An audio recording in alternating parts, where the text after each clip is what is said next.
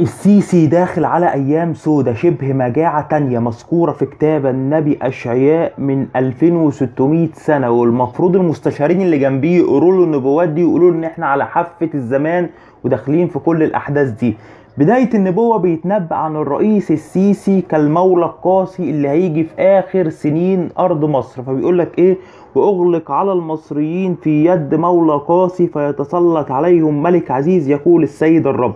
بدايتها قال لك أغلق على المصريين في يد مولى قاسي النبي أشعياء ده نبي معترف به في الديانات الثلاثه هذا النبي شاف إن في نهاية تاريخ أرض مصر هيظهر فرعون شبه مولى قاسي وهيغلق على المصريين. وأنت عارف طبعا السيسي مفيش كلام في الكلام ده بيغلق على المصريين جامد سواء بغلا الأسعار غلا البنزين غلا الغلا والفنا اللي بيحصل. فقال لك اغلق على المصريين في يد مولى قاسي فيتسلط عليهم ملك عزيز يقول السيد الرب. عادي إحنا المصريين بنستحمل ومستحملين كل اللي بيحصل مع ان في أرامل أرامل مش لاقية تاكل وأيتام مش لاقية اللقمة. بس إحنا مستحملين واقفين لكن اللي جاي أصعب من اللي راح. إيه هو بقى اللي جاي؟ يقول لك وتنشف المياه من البحر ويجف النهر وييبس. ده توالي الأحداث بقى. تنشف المياه من البحر ويجف النهر وييبس اتنبأ عن سد النهضة الأثيوبي من قبل ما يكون ب 2600 سنة. طب إزاي؟ بص إسرائيل وأثيوبيا دول روح واحد من النيل للفرات. معناها إيه كلمة إسرائيل الكبرى من النيل للفرات؟ معناها إن إسرائيل في تحالف مع أثيوبيا هتحاول تسيطر. إسرائيل على الفرات وأثيوبيا هتسيطر على النيل. فهنا في تطويق لمصر تطويق لمصر إنه بيقول لك تنشف المياه من البحر ويجف النهر وييبس وتنتن الأنهار وتضعف وتجف سواقي مصر. كلام خطير جدا تجف سواقي مصر. والرياض على حافة النيل وكل مزرعة على النيل تيبس وتتبدد ولا تكون. هنا بيتنبأ عن إن الزراعة هتنضرب في أرض مصر. والصيادين يئنون والذين يلقون شصا على النيل ينوحون. يعني الصيادين اللي بيلقوا شبكة على النيل بينوحوا لأن مفيش سمك بيطلع. ده كناية إن الرزق بيبقى مقطوع في أرض مصر. فالاجري بيروح ياخد مثلا 500 جنيه في جيبه.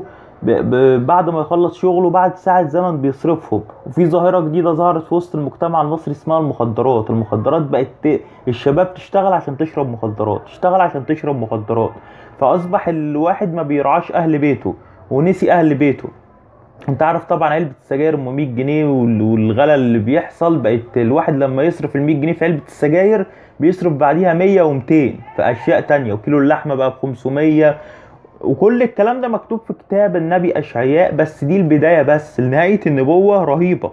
نهاية النبوة بيقول لك وتكون عمدتها مسحوقة وكل العاملين بالأجرة مكتئبين نفس. يعني كل العاملين بالأجرة هتكون.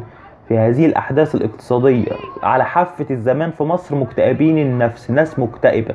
أنت لو رحت المترو هتلاقي الناس مكتئبة. تحقيق لهذه النبوة. الكبير بقى الكبير بقى الخطير. بيقول لك إيه؟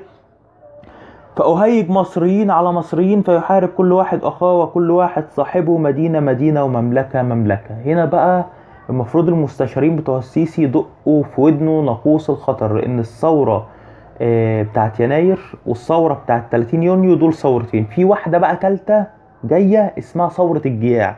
دي لو جت بسبب الضغط على الشعب المصري بيقول لك فأهيج مصريين على مصريين فيحارب كل واحد أخاه وكل واحد صاحبه مدينة مدينة ومملكة مملكة. وترهق روح مصر في داخلها وأفني مشورتها. فيسألون الأوثان والعرافين وأصحاب التوابع. هتلاقيهم دلوقتي على قنوات الأخبار بيعملوا من المنجمين المنجمين والعرافين دول إيه بيعملوا منهم بيقولوا لهم إيه اللي جاي وإيه اللي هيروح لأن هم من زمان مضروبين المصريين بهذه الحكاية والحكاية دي بتضايق الله جدا. أنا ضد العرافين وضد المنجمين جدا لأن الله أنت عايز تعرف مشوره روحيه اعرفها من الله نفسه. تعرفهاش من عراف ولا من منجم اعرفها من الله نفسه. لأن عندك الله اهو قال قايل لك كل الكلام اللي هيحصل من قبل ما يكون. قايله لك من البداية علشان لما يجي في النهاية ما تقولش العراف هو اللي قاله لي ولا المنجم هو اللي قاله لي ولا أي حد اللي قاله لي. فكله مكتوب هنا. فبيقول لك إيه؟ بص بقى مزج الرب في وسطها روح غي فأضل مصر كترنح السكران يعني في روح غي الناس ما بقتش فاهمة بعض الناس بقت تظلم بعض. يعني إيه بقت تظلم بعض؟ الناس بقت يعني اللي رايح يبيع موتوسيكل مثلا يروح الغي ده معنى إيه؟ هبسطه اللي رايح يبيع موتوسيكل آه هو يكون ثمنه 7000 جنيه يقول لك ثمنه 50000 جنيه. هو ثمنه 7000 جنيه عايز عايز يظلم أخيه المصري.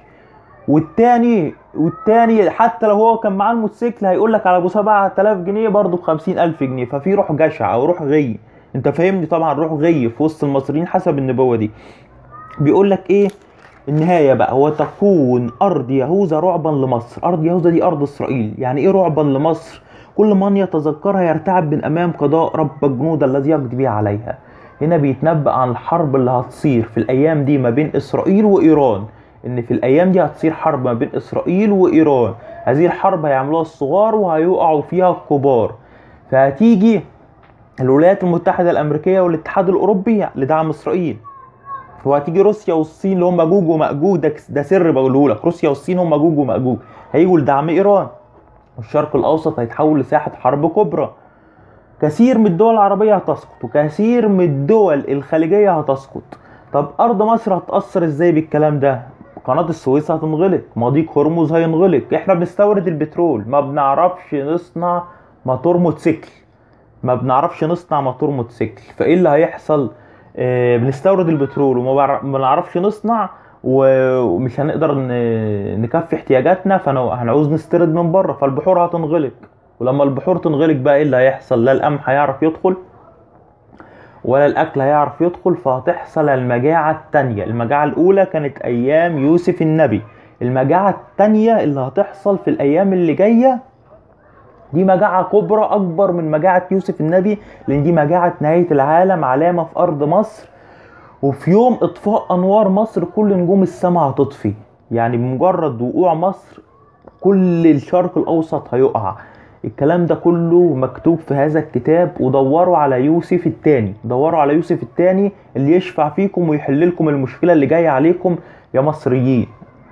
أنا من أكتر المحبين لمصر وأتمنى لها كل خير. لكن الكلام ده لازم يتحقق. اصلك دي نبوات مكتوبة لازم تتحقق. الله عرفنا من البدايات النهايات عشان لما تيجي حرب هرمجدون تعرفوا إن هو اللي هينتصر فيها مش الشيطان.